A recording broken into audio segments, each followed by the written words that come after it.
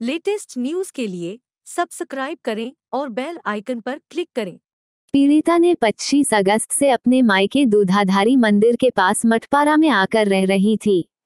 पीड़िता एक सितंबर को सुबह अपने काम पर चली गई, जिसके बाद नगर निगम में कार्यरत पीड़िता की माँ ज्योति शर्मा भी घर से लगभग 10-15 बजे ताला लगाकर अपने काम पर चली गई थी, जिसके बाद घर में कोई नहीं था।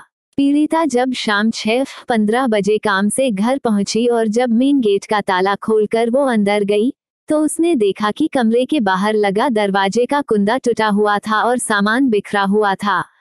पीड़िता को जब अलमारी में रखा सोने चांदी के तेरह लाख पचास हज़ार के जेवरात और नकदी रकम नहीं दिखा, तब उसने अज्ञात आरोपियों के विरुद्ध थाना टिकरापारा में रिपोर्ट दर्ज कराया।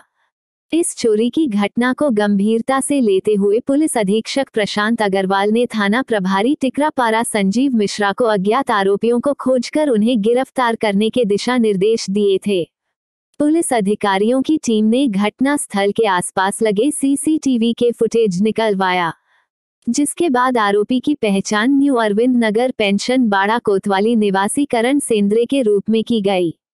करण सेंद्रे को पहले भी चोरी के लगभग आधा दर्जन मामलों में थाना कोतवाली से जेल ने हिरासत में लिया था। आरोपी पुलिस की टीम को गुमराह करने की कोशिश कर रहा था।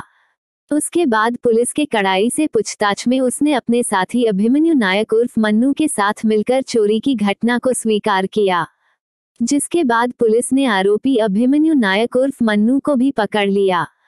दोनों आरोपियों के खिलाफ टिकरापारा थाना में धारा चार सौ चौवन, तीन सौ अस्सी भादवी का अपराध दर्ज किया गया है। प्रार्थी अनुप्रिया उपाध्याय, जो कि टिकरापारा डीडी नगर की रहने वाली हैं, उसने एक सितंबर को आकर थाने में रिपोर्ट दर्ज कराया था कि जब वो 11 बजे घर से काम के लिए निकली थी और जब शाम को छः बजे लौट कर वापस आई तो घर के घर के अंदर का ताला टूटा हुआ था और उसके घर से जितने भी जेवरात थे वो गायब थे।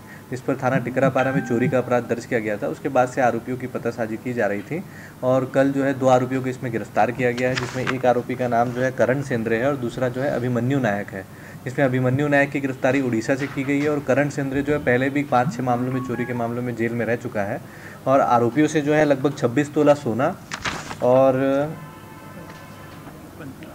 छब्बीस तोला जो है सोना मिला है और सोलह तोला लगभग चांदी के जेवरात जुमला कीमती लगभग तेरह लाख रुपए का बरामद किया गया और आरोपियों को आज जेल भेजा जा रहा है।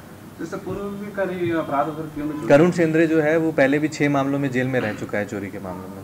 सर नकदी लोगों ने कितना चोरी किया था जब नहीं, नकदी इसमें डेढ़ दो हज़ार रुपये था, जिसमें एक हज़ार रुपये रिकवर कर लिया गया है।